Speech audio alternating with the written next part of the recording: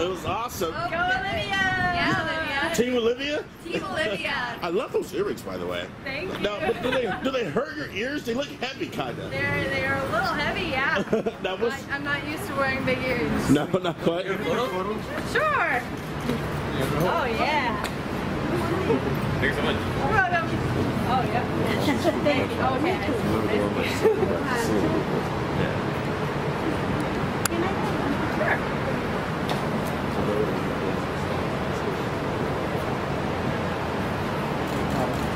You're welcome. Hey, now, Good night. now your brother was on Dancing with the Stars. Would you do What? that? I mean, I would love to do that. I feel like you'd be a good dancer. Right, Yeah? Yes? She's a good dancer. You're a good dancer, so you'll teach her a few things. Yeah, she'll Yeah, I'll be her partner. that would be nice. I, I, I, I like the idea. What's up with um, R5? What's happening? Uh, new stuff? We're writing our third album.